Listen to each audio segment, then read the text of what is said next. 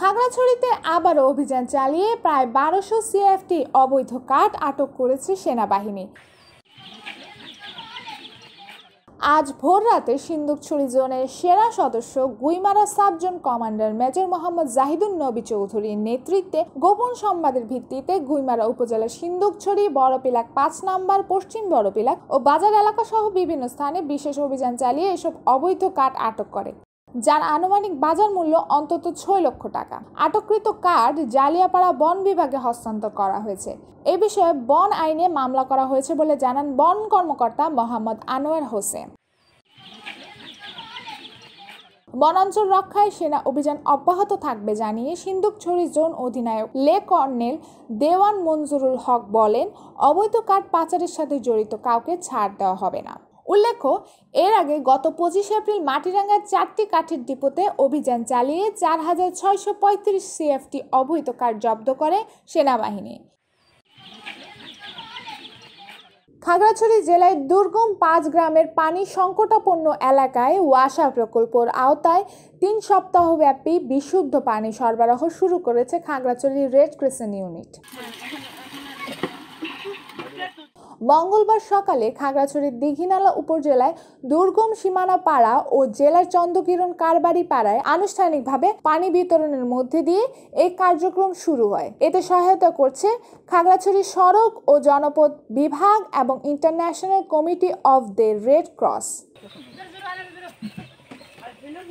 যখন শুরু হবে, তখন আমরা ওই যে আপনাদেরকে নিরাপদ পানির ব্যবস্থাটা করব, হচ্ছে কয়েক পরিবার মিলে মিলে।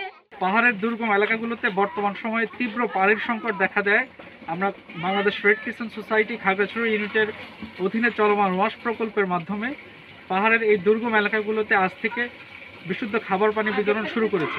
প্রথম দিনে পানি বিতরণকালে উপস্থিত ছিলেন খাগড়াছড়ি রেড ক্রিসেন্ট ইউনিটের এএফও ধীমান ত্রিপুরা, মোহাম্মদ দিদারুল আলম এইচপি ও জোশী চাকমা, যুব সদস্য আল আমিন ও অভি পড়ুয়া। খাগড়াছড়ি জেলার সীমানাপাড়া ও চন্দ্রকিরণ কারবারি পাড়া মিলন কারবারি পাড়া আট মাইল ও ন মাইল এলাকায় তিন সপ্তাহ পাঁচ শতাধিক পরিবার প্রায় এক লক্ষ লিটার পানি সরবরাহ করা হবে বলে জানিয়েছেন সংশ্লিষ্টরা। সীমানা পাড়ার কারবারির চয়ন ত্রিপুরা বলেন আমাদের গ্রামের মানুষজন অনেক দূর থেকে ঝর্ণার পানি এনে খায়। রেড ক্রিসেন্ট থেকে পানি দেওয়ায় আমাদের কষ্ট কমেছে। বাংলাদেশ রেড ক্রিসেন্ট সোসাইটি আজকে আমাদের এখানে পানি দিয়ে খুব আমরা আনন্দিত। চন্দ্রকিরণ কারবারি পাড়ার বাসিন্দা হেনা ত্রিপুরা বলেন আমরা গ্রামের মানুষ এক ঘণ্টা হেঁটে গিয়ে আনি। এখন ছড়া শুকিয়ে যাওয়ায় পানি নাই।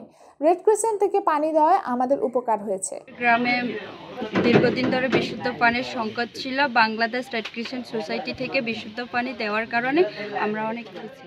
খাগড়াছড়ি রেড ক্রিসেন্ট ইউনিটের এআফও মোহাম্মদ দিদারুল আলম জানান, পাহাড়ের দুর্গম গ্রামগুলোতে বসবাসরত জনগোষ্ঠীর মানুষজনের বর্তমান সময়ে তীব্র পানির সংকট রয়েছে। তাদের পানির সংকট লাঘবে আমরা তিন সপ্তাহ বিশুদ্ধ পানি সরবরাহ শুরু করেছি। খাগড়াছড়ি জেলা প্রতিনিধি মোহাম্মদ মফিজুল ইসলামের পাঠানো তথ্য ও চিত্রে ডেক্স নিউজ, বাংলা ধারা।